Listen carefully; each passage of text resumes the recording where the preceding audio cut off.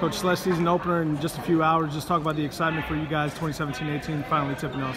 Well, it seems like a long time ago. Uh, the season, the off season goes so quickly.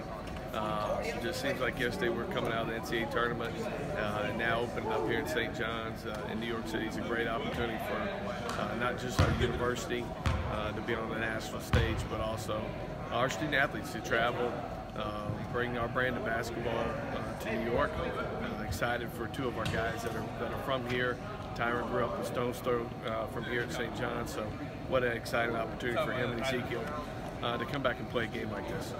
Now you talked about some of those guys that return, but you do return a veteran core, as you alluded to with the Fox Sports folks. You have the front line that's basically your your strength, and St. John's on the opposite side has their strength in the backcourt. So talk about what you envision from this team and how you envision playing against a team like that that's so explosive from their guard play. Yeah, you know they've got an incredible uh, group of guards uh, that can score at a very very high rate. Uh, they're very skilled uh, guys that have been here two and three years. And so that's going to be a big, big challenge for us to be able to keep those guys in front of us, uh, force them to miss shots.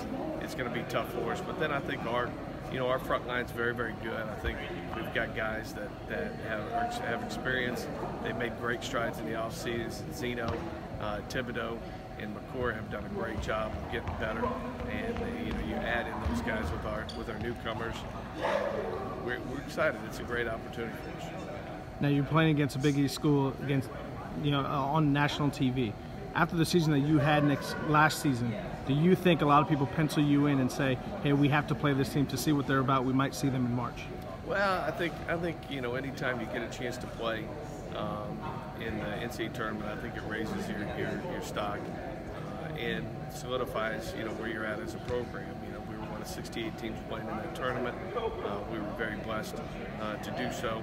And, you know, I think that it helps us and helps them profile the university and the program. Thanks, Coach. Thank you.